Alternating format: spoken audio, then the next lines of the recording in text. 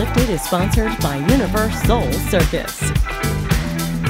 Time to get uplifted, and there's the constant sound of cars honking in one Kansas neighborhood. Now, normally that would be really annoying, but one resident of the neighborhood is encouraging it with a friendly wave. Dennis Pierson has been waving at people driving past his home for the past four years.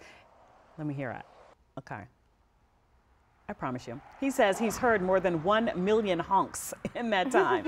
it all started as a way to pass the time after he lost his legs because of deep vein thrombosis. It caused a lack of mm-hmm. circulation in them. He says sitting outside waving to cars all day, sounds silly maybe, but he is touched by all the people that there it is that appreciate his friendly wave as they drive by.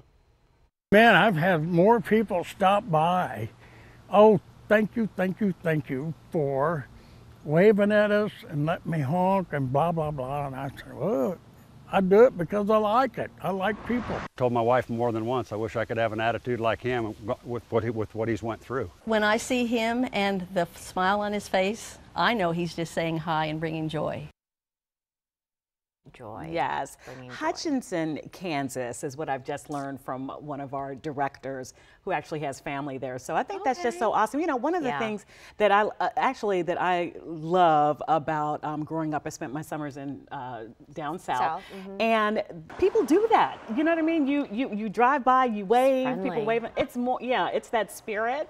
And um, for folks out in Kansas to do this for this man, I think it's awesome. It does make you feel a little more connected. Yeah. You know, a and little bit you know more what? Connected. It's as simple as this. He said, "I like people." Right.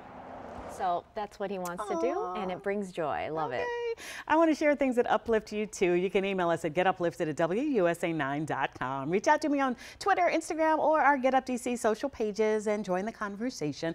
All you got to do is use that hashtag GetUpDC. I feel inspired. Should we sit outside of uh, Wisconsin Avenue it's just today the best. just Sitting wave? out on the porch. I remember my granddad doing that and waving at people. Just wave Oh my goodness, a simpler time. Yes.